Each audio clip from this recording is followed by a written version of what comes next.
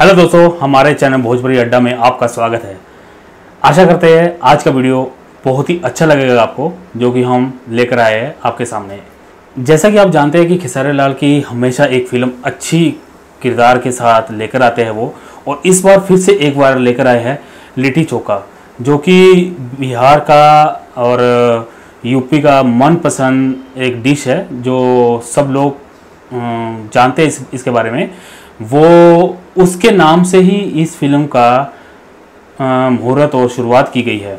Bhojpuri cinema की खूबसूरत heroine श्रुति राव को खेसारी लाल के लिए अनुबंधित किया गया है। पावा मोशन पिक्चर प्राइवेट बैनर तले बनने वाली इस फ़िल्म की शूटिंग इसी महीने सितंबर के लास्ट में की जाएगी। उत्तर प्रदेश की राजधानी लखनऊ की कई जिलों में इस फ़िल्म की शूटिंग की जाएगी। फ़िल्म में खेसारी लाल के साथ जो हीरोइन है श्रुति राव, उसको सभी लोग पसंद करेंगे हम ऐसा आशा करते हैं। वहीं इस प्रोजेक्ट को लेकर श्रुति राव बहुत ही उत्साहित है और वो कहती है यह फ़िल्म उनके लिए बेहद अहम है। इस फ़िल्म में बड़े बड़े कलाकारों के साथ उनको काम करने का मौका मिल रहा है। आज जहाँ तक कि देखा जाए खेसारी लाल यादव के साथ कौन नहीं हीरोइन काम करना चाहती है? अ, इंडस्ट्री में सभी ऐसे लोग हैं ऐसी हीरोइन है ऐसी बहुत सारी हीरोइन है जो कि खेसारी लाल के साथ काम करना चाहती है, लेकिन उनको मौका नहीं मिलता है। श्रुति राव एक ऐसी हीरोइन है जो उनको एक बिल्कुल सीधा और स्पष्ट सामने से उनको मौका मिला है और वो खोना नहीं चाहती थी, इसलिए वो फ़िल्म उन्होंने साइन कर ली है।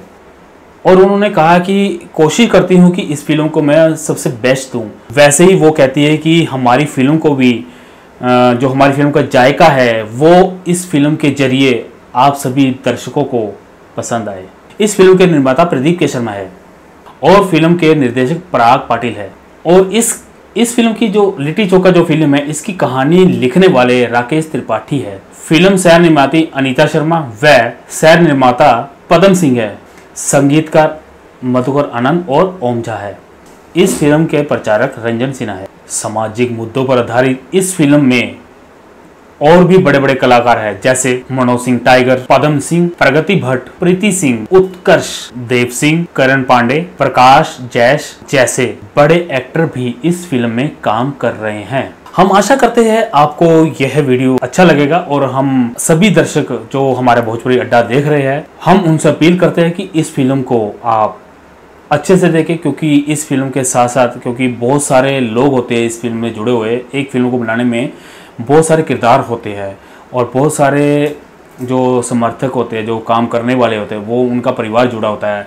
तो आप सभी से अपील करते हैं कि आप सभी एक फ़िल्म, एक बार ज़रूर फ़िल्म में थिएटर में देखने जाए। हम आशा करते हैं आपको ये फ़िल्म अच्छी लगेगी। पारिवारिक फ़िल्म है।